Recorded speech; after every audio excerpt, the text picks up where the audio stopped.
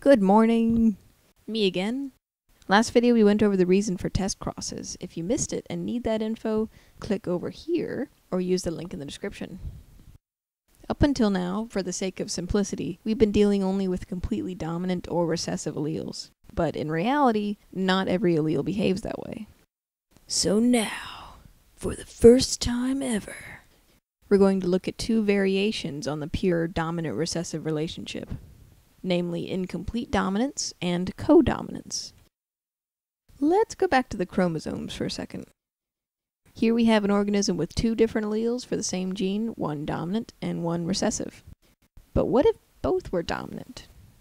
Well, a few different things could happen, but in this case we observe an interaction between them of either codominance or incomplete dominance. This means that in a heterozygous individual, neither trait can mask the other, so both are expressed. The difference between codominant and incomplete dominant is exactly how they are expressed. Traits that are codominant both express fully, while incomplete dominant traits express as a blend of the two. Bit of a misconception out there, but codominant is not the same as incomplete dominant. Out in the reptile community, you'll see that plenty of breeders use the term codominant to label traits that are technically incomplete dominant. And honestly, I'm fine with that.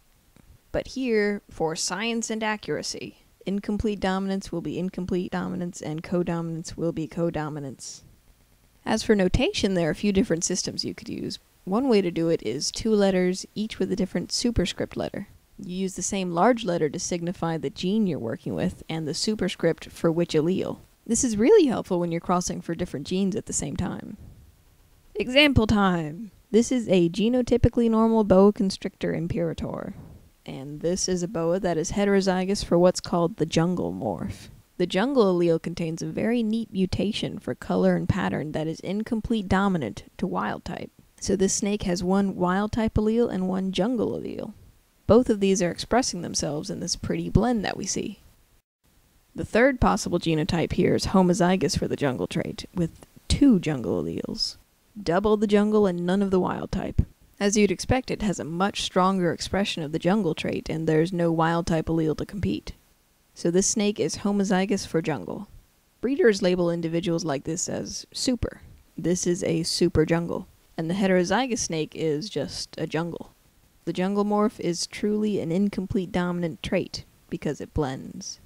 What's cool about traits like this is you get a nice spectrum of expression with wild type on one end and the supers on the other. Heterozygote or super's place on the spectrum can vary depending on how strong that particular line of the jungle morph is because, like any trait, the expression of the jungle allele can be altered over time by selective breeding. Recap Incomplete dominant, blended expression, codominant, full expression of both. If you'd like to see some extra examples, click here for more. That's your intro to incomplete and codominance. Next time we'll start using them in crosses. Excitement! See you then and good luck!